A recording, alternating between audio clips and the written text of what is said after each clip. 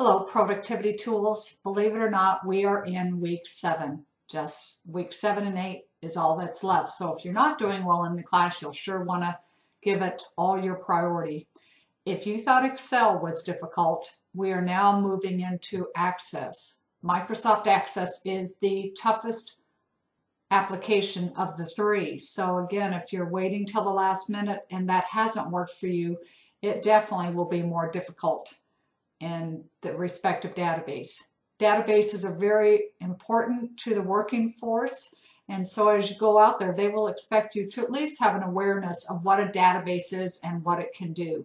Got a couple of projects, of course, and, and an exam, so those follow the same lines. This week for your forum, read it carefully. What we're asking you to do is look at all the database templates. So this will force you to go out there and look at templates that are already available to you on the database area. Pick one of those. Once you pick them, we would like you to tell us how you would utilize that database template.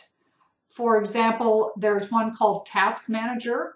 Maybe you would say, I am um, director of SWAT, and I could use this Task Manager database to coordinate all of the tasks that we take care of with our clients in SWAT. You have to then um, tell us how you would use it and state at least three fields that you would use in your database. If you say, well, I don't know what you're talking about in terms of a field, then you need to go back to your lessons and your ebooks, and that will help clarify that. You will upload it. You will not be able to see other people's databases until after you upload it and there's a 30 minute wait period. As I've noted before, there's a reason we do that. That's so you can't go out there and copy other students' um, database ideas. We want you to have your own original idea and to think for yourself before you actually go out and see other ideas. So that's why we do that.